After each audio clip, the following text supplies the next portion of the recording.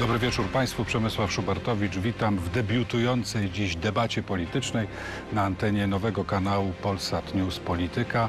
No, będziemy rozmawiać oczywiście o polityce. Nazwa zobowiązuje, ale będziemy rozmawiać o polityce dłużej, głębiej. E, no i mam nadzieję ciekawiej. Dzisiaj naszym pierwszym gościem jest Dariusz Joński.